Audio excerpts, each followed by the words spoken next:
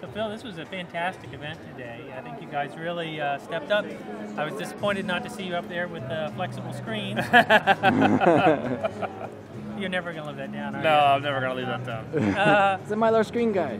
but uh, for you, what was the most exciting part of the day?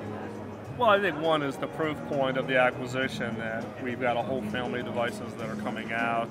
Uh, exciting devices, I mean, the, the, the two new phones plus the, the pad, but I think also the announcement of WebOS across the full range of, uh, of HP devices, and therefore giving a footprint to the WebOS developer community that they just can't get on any other platform.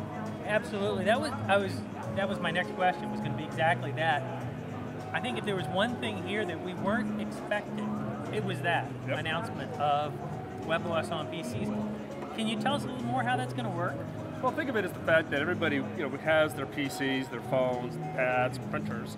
And the problem is they all act as individual islands, and the human plays the role of being the human glue.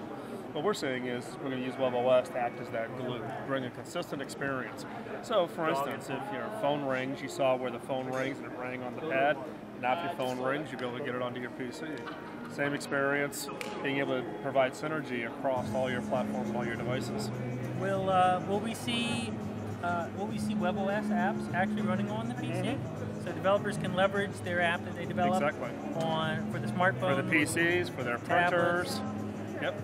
That, That's beautiful. Be really, So now you get a big enough footprint for the developing community to say, wow, I now I've got reach and, and total number of Exactly devices what I to was be thinking. playing my apps on. Well, that uh, one of the things that, that's really been lacking on, on the PC market is an app store. And Apple just released one on the Mac, Mm-hmm. and it's been a huge success there. They, you know, each smartphone has their own app catalog.